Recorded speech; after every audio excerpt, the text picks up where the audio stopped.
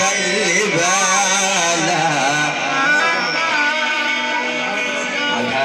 زي ما انت شغال ابويا وصاني وصية قال يا ابني خلي بالك ركز معايا